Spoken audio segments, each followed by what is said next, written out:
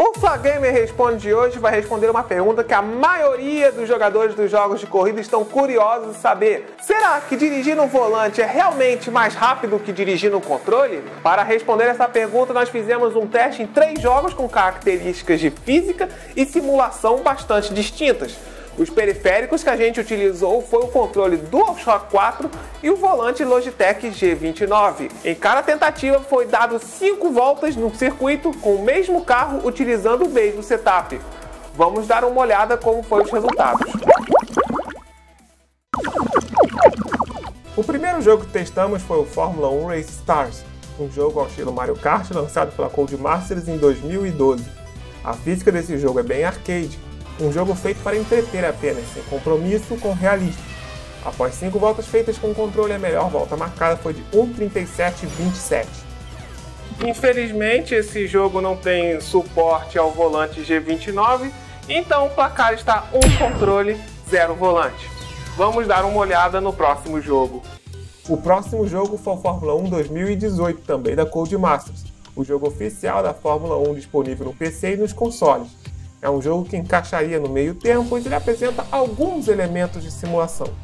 Rodamos 5 voltas na pista do Canadá com o carro da Mercedes. As primeiras voltas foram um pouco complicadas, pois havia perdido a sensibilidade de usar o acelerador após tanto tempo jogando o jogo com o volante.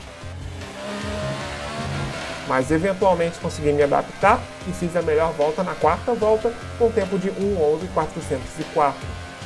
Agora está na vez do volante em assumir as voltas.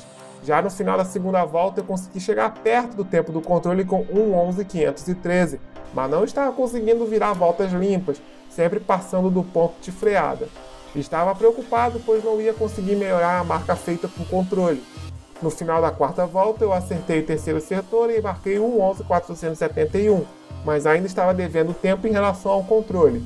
Tinha apenas uma volta para marcar uma volta limpa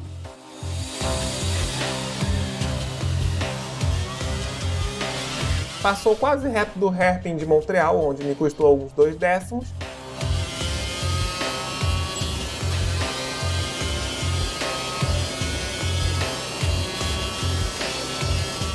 A última chicane tinha que ser perfeita.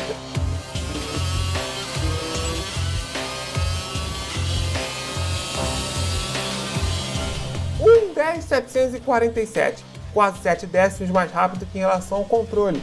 Placar, controle 1, volante 1. O último jogo que testamos foi o Aceto Corsa, jogo que muitos falam que é dificílimo jogar no controle.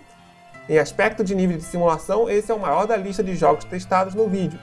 Um destaque que o carro que escolhemos, o BMW M5, é um carro com câmbio em H, então no caso do controle ativamos a embreagem automática e o throttle blip automático. Usei as primeiras voltas para me acostumar com a dirigibilidade no controle, que achei bastante ágil. Repara nas mãos do volante como não consigo ser sutil quando viro as curvas.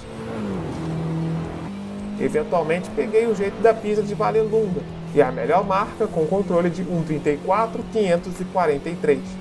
Agora está a vez do volante.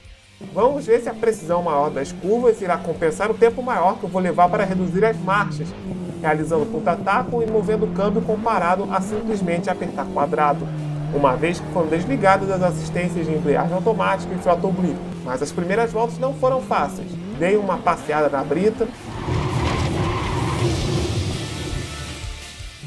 Na outra volta perdi o ponto de freada e o carro foi lá na área de escape. A primeira volta limpa foi apenas na quarta volta com tempo de 1.33.564. Eu não esperava toda essa diferença de quase um segundo em relação ao controle. Placar final, controle 1, volante 2.